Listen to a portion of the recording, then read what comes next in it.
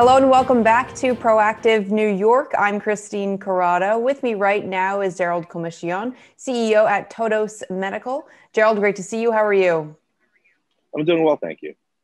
Gerald, lots to talk about today. Let's first start off with your new supply agreement with Integrated Health. Tell me more about that.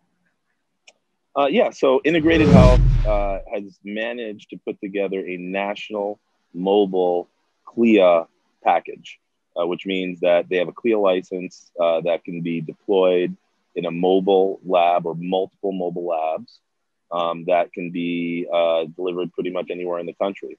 And as a result of that, um, they partnered up with Motopara Foundation, which is a group that we've been working closely with, uh, to be able to put those into some pretty advanced Conex boxes and turn those Conex boxes into biosafety level three labs. So, you know, that's Motopara's specialty working with Conex boxes. They've done a lot of engineering with the military, whether it's for uh, disaster relief, data centers, mobile surgical centers, et cetera. So the, um, you know, the infrastructure around those Conex boxes, they know really well. Uh, and so they optimized those for uh, mobiles, and then they hooked up with the owner of this CLIA lab license integrated um, as part of the package to be able to deploy. So that's been, you know, quite the experience in going through actually building a lab from scratch and going through all the validations and optimizations in an environment where there's a lot of scarcity. Um, so we've had to, you know, identify new tools to be able to use to really meet the demand because there's going to be hundreds of these out there. For those who might not be familiar with the term CLIA lab, why is that significant? Uh, so CLIA is cl- clinical laboratory improvement amendments. So this uh, was an act passed, you know, a couple decades ago that basically paved the pathway for uh, laboratory developed tests and for a standard uh, on how labs should be operated.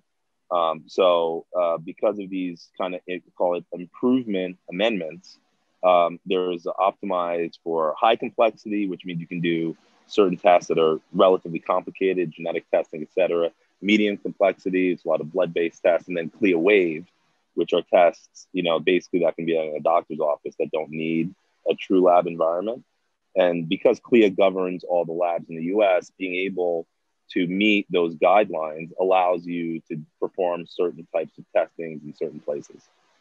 This, Every state has their own. Got it. This supply agreement that you have formed with Integrated Health, is it similar to the one that you also formed with the Melbourne Biotech?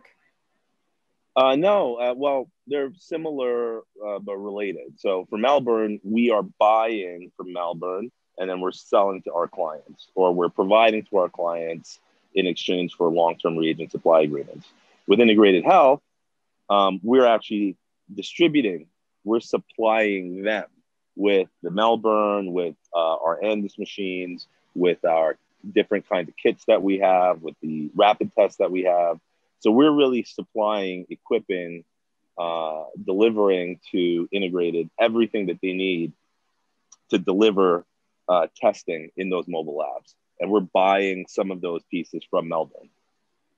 And I know that you also recently formed an equity financing partnership with AID Genomics. Can you tell us more about that? Yeah, so it's not equity per se, although you could say it's equity into our contract. So what AID has done is um, they've built up several labs in Israel for testing.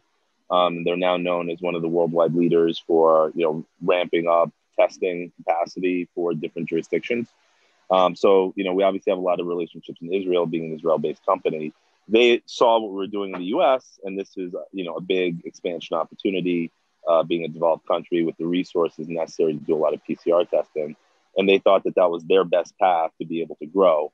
And for us, um, getting access to uh, some of the key components to allow for scaling to do large volume uh, for us was worth it uh, to bring them in and give up some of our profit in exchange for them, uh, you know, basically paying to buy into the contract uh, with their uh, relationship with Tecan. And then, so they're putting up the money to buy those pieces of equipment, and they're also uh, giving their expertise to optimize uh, scale.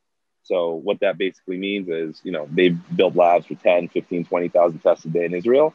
They're going to come here and help us do that. And so for every you know, every time we sell more tests, we obviously make more money. And if they can have allow us to scale to a much larger capacity, you know, giving up some of the profits for that scale is very important because it allows us to fulfill our mission of, of delivering a significant portion of the testing capacity for the US. Well, looking ahead, what does the plan look like to scale? Well, so we have uh, six existing contracts with our clients that call for ongoing reagent supply agreements. We're working with those clients uh, as they get up and running and operational and start to order from us. And so, you know, the money uh, from those contracts is starting to come in that we've laid out, uh, which is obviously a very important step for us to start cash flowing. As we that money starts to come in and we start to feel comfortable that the business model um, is really sustainable, you know, we brought on a sales team that can, you know, really push that model out to other labs. So now that we have our partnership to be able to scale in combination with our sales team that is going out there talking to labs, we think that we can really start to, you know, move the needle, uh, you know, October, November, December on really getting labs up to speed. And then, you know, obviously once we have this install base for PCR testing capacity, ultimately we're going to end up selling things other than COVID tests through that sales channel. So right now it's about getting the install base, uh, delivering for our clients, you know, really dealing with this pandemic where there's a lot of opportunity from a business perspective. And then, you know, looking out into the future with our other proprietary tests and other types of tests that can be sold into that install base. Gerald, great to see you. Thanks so much. Have a great weekend. Thanks, you too.